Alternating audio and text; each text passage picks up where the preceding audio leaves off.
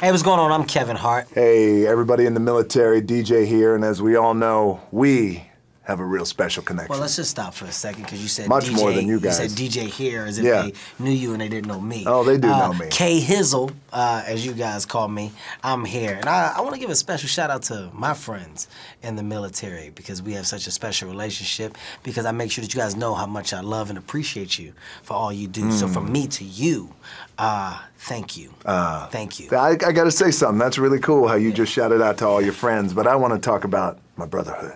There's a difference, right? There's something you don't understand. It's, it's, it's a brotherhood here. To my brotherhood, I just want to say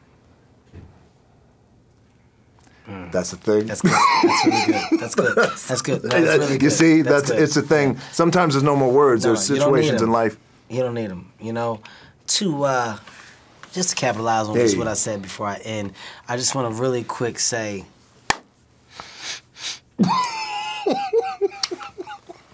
That's to uh to the troops. Yeah, and who's that? Only What- we know where? what that means. Yeah? Only we know what that means. What branch was that? Because of what we've been through. So. to you guys. we I don't wanna appreciate you to cover my guys. We love you so much, man. Thank you guys for all that you do. Hey, hey, hey, hey.